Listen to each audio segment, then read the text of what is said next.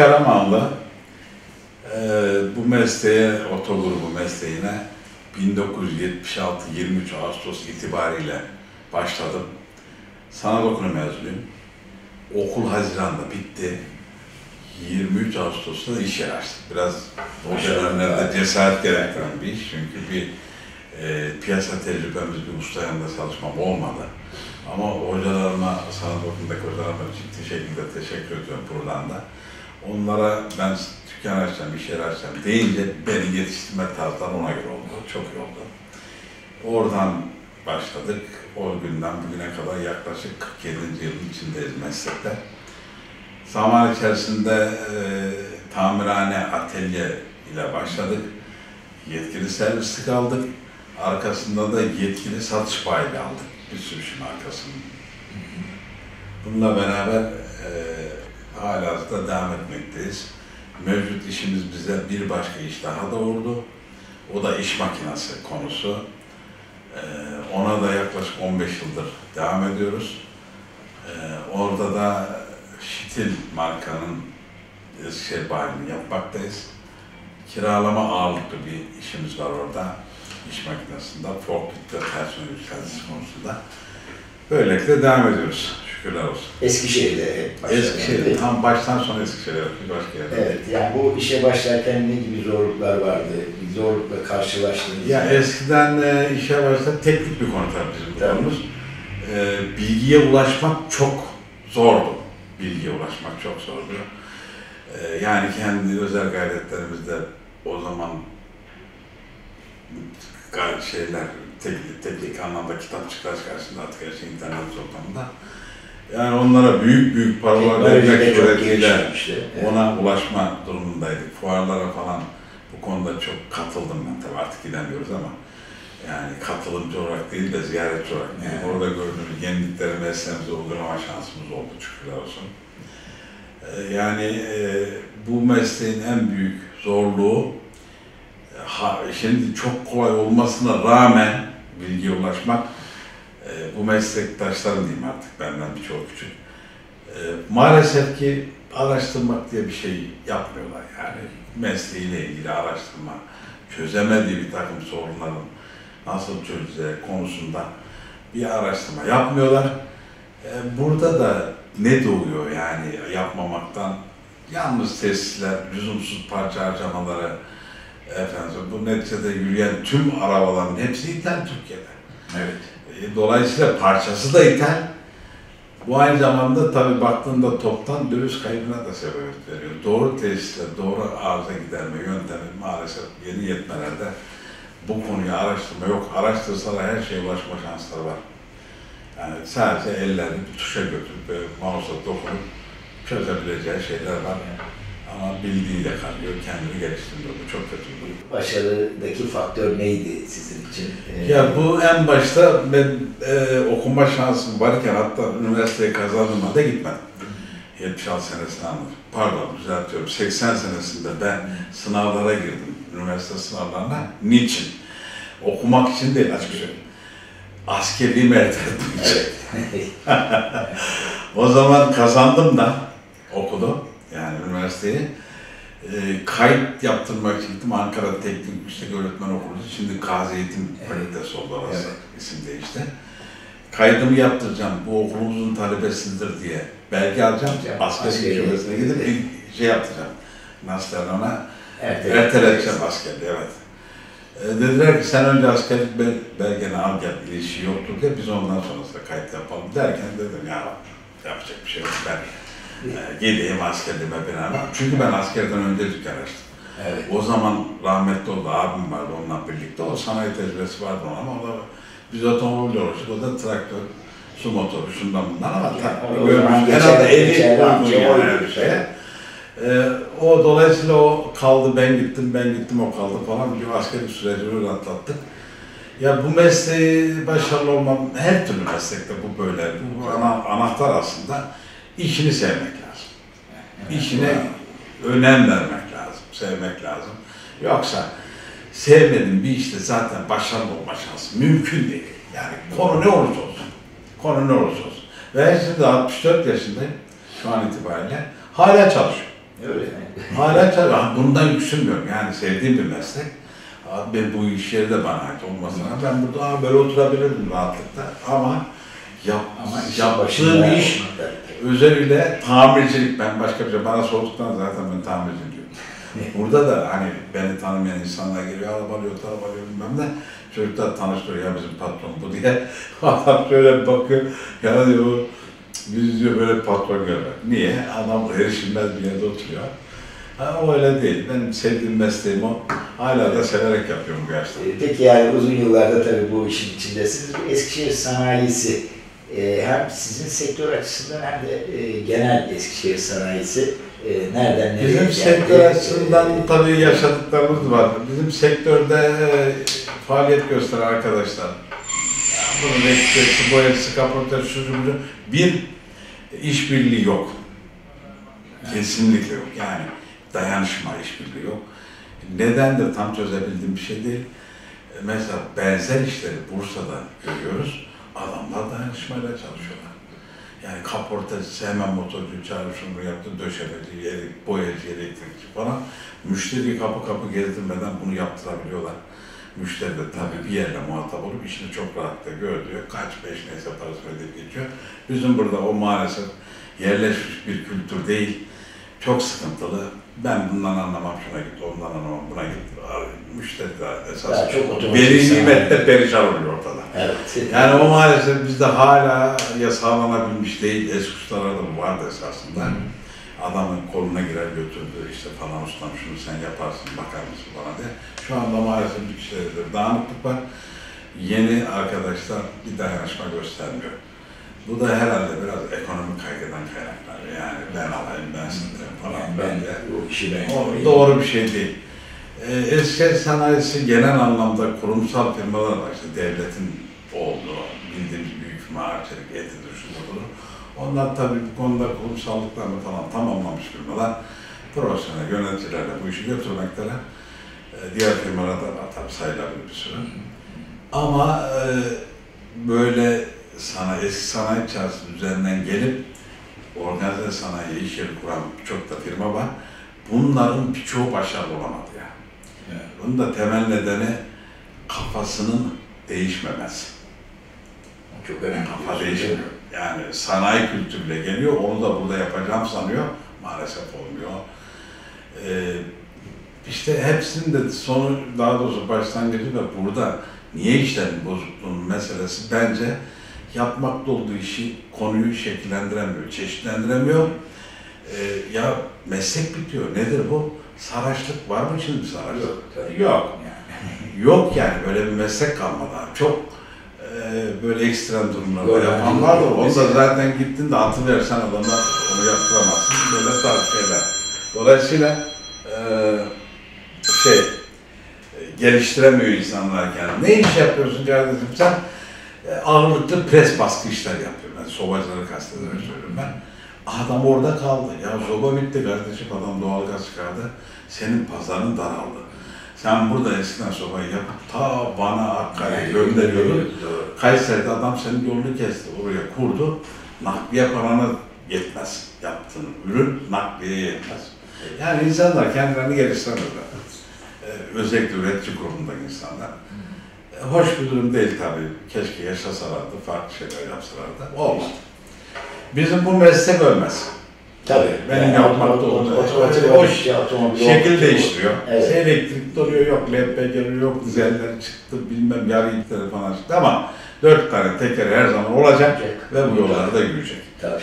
Yürüdüğü sürece de bu bozulacak. Bu meslek olmaz. E, Sadece e, artık e, şeyler bitti.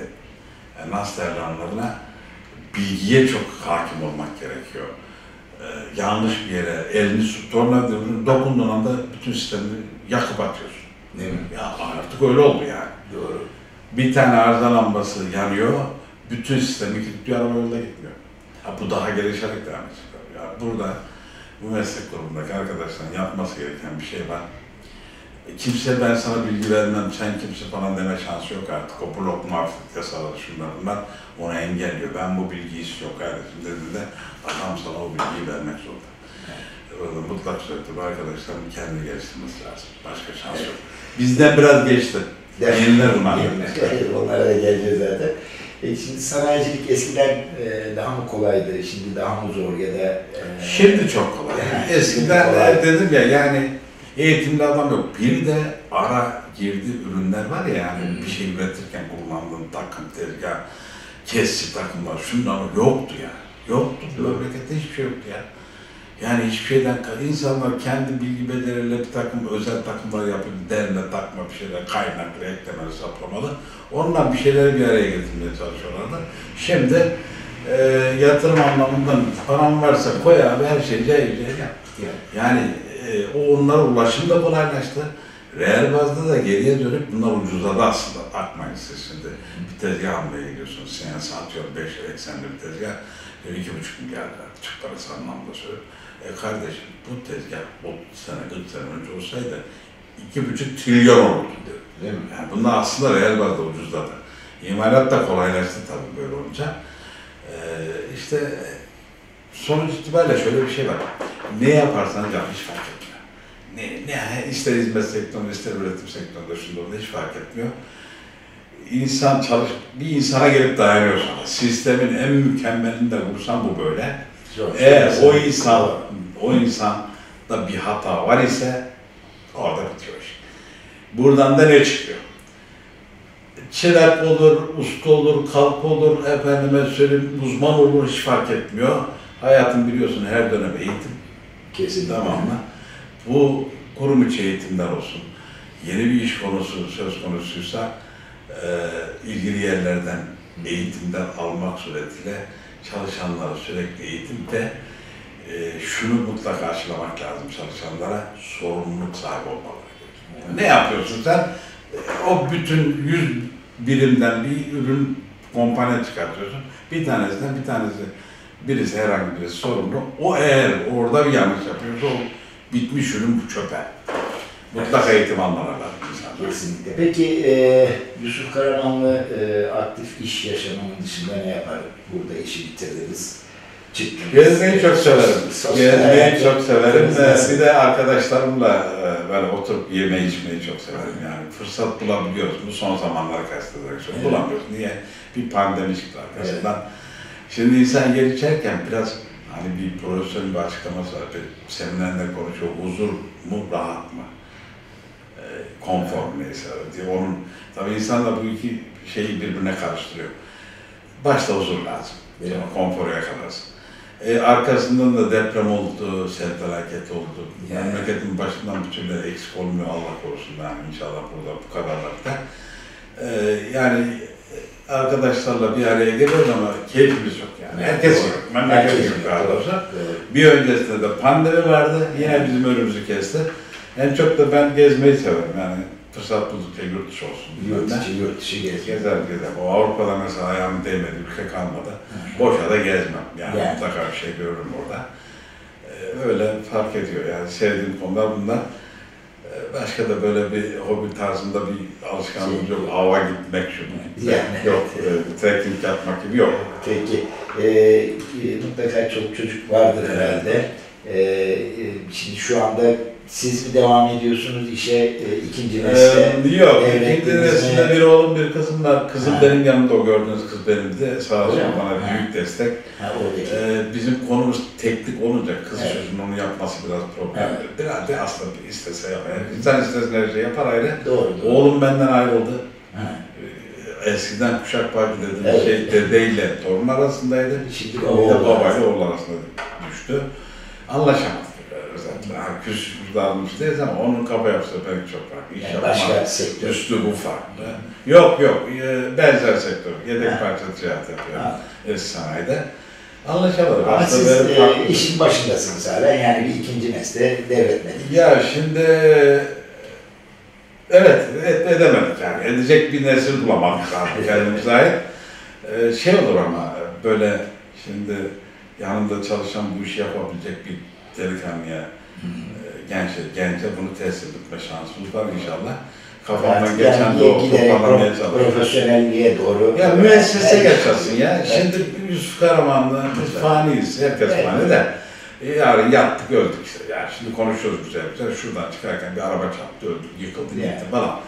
O her zaman olası şey. E, yani Avrupa ülkelerinde adı bilinen markaları, üreticileri falan. Ya adamın kemiği bile. Kalkmış ama devam ediyor. Ama o müessese devam ediyor. Hatta o ilgili ilk kuran vatandaşın varisi bile yok. Yani torun, torbası hiçbir şey kalmamış. Soyu bitmiş adamın ama o müessesede devam ediyor. Doğru. Yani bunu böyle aslında bakıp devam ettirmek lazım. E, kurucusu bittiğinde Türkiye'de bu böyle bak. Evet, Yani bitiyor. bak, Olay da bitiyor. bu işi kuran baba, dede neyse o adam gitti bu tak çekti oluyor. Yani, yani çok yani. Zaten şimdi e, hani büyük çok büyük firmalarda işte Koç gibidir, Sabancı gibidir mesela kurucuları işte gitmiş ama e, devam varsa ediyor. şeyler devam ediyor. O, Profesyonellerle de devam o ediyor. adamlar helal olsun. Ee, tabii onlar gördüler yani bunu. Önceden de yaşanmış, yıllar boyu yaşanan bir şey adam. Eskiden meslek bu kadar, daha doğrusu işletmeler bu kadar büyük çaplı değildi. Her şey küçük küçüktü. Nüfus da tabii keza ona göre. Ben okurken Türkiye'nin nüfusu 30 milyon diye. Coğrafya dersinde bizi okutturdulardı. E şimdi olmuşuz 85 milyon. 90 desen 3 katı. Evet. O gün bü- bir metrekare olan yer burada 3 metrekare oldu yani öyle baktığında. O büyümenin getirdiği kontrolü sağlayabilmek için adamların mecburen abicim bu işi kim iyi yapıyorsa onu tutuyor, getiriyor ya. Koyuyor, veriyor parasında. E, işletme devam ediyor. Ama e, bizim gibi küçük işletmelerde bu büyük sıkıntı. E, bu işin parasal karşılığı değil. Bu işi devam ettirecek bir eleman. Kendinden Evet. evet. başkanından o. Peki. En büyük sıkıntı bu. Evet. Genç sanayicilere ne gibi bir tavsiyeleriniz olur? Valla önce işini sevmeleri, baştan da konuştuğumuz gibi. Arkasından da işiyle ilgili e, hiç durmaksızın ama araştırması. Öğrenmesi ve araştırması. Araştırıp öğrenmesi. Öğrendiklerini kendi işine nasıl aplike eder onu çözmesi. Şimdi çok zekiler çocuklar. İnanılmaz derece zeki. Öyle geriden baktığında ya bundan adam olma alakası yok. Öyle bakmamak lazım o konuya. Gençlere de bu arada güvenmek lazım. Ama e, şey, e, sevdiği işi yapması çok önemli. İnsan başarılı olacaksa veya oluyorsa mutlaka sevdiği işte. Sevmediği işte bir insanın başarılı olma şansı yok. Peki. Kerren yapıyor. Ee, yapmak isteyip de yapamadığınız bir şey var mı? Bir hayaliniz var mı? Yok ben e, mesleğimi çok sevdiğim için yapamadım dediğim bir şey yok. E, İnsanın önüne biliyorsun farklı şeyler geliyor. Daha büyümek mümkün müydü? Evet. Orada da bizim kafa yapımız ona çok uygun değildi geçmiş dönem itibariyle. E, yani bir atılmak lazım, bir cesaret gösterip farklı şeyler yani konuyla bağlantılı Evet. şeyler yapmak lazım. Ne olabilir mesela? E, bir ucundan geçmiş dönemde yedek parça üretimi mümkün olabilirdi. E, tabii biz e, ama buna da bir sermaye gerekiyor. E, biz e, iki elle diyeyim ben kısacası. Bu kadar olabildik. Çok şükür. Allah bereket versin. Yani iyi zaman. Çok da iyi. üretimi gerçekten Ya, olabilirdi. Bak o zaman mümkündü. E, fakat yani benim e, üretim konusunda çok bir bilgim becerim yok. E, birisini alıyorsun. Bizim memlekette maalesef baba o geçinemediği gibi ortak da geçinemiyor. Çok uzun ömürlü olmuyor yani. Bu konuda da ben Eskişehir ölçeklerinde ve kendi geçmiş dönemdeki imkanlarıma göre iyi şeyler yaptığıma inanıyorum yani. İyi şeyler inanıyorum. Peki tekrar dünya, dünyaya gelmek gibi bir şey olsaydı gene bu işi yapar mıydınız sanayicilik? Dedim eğer o zamanki geldiğinde seviyor isem yine yaparım. o dedim ya sevmeye bağlı. Evet. Hakikaten sevmeye bağlı. Mesleği sevilen, işini sevilen. Sevmiyorsan da hiç bulaşmıyor. Bulaşma.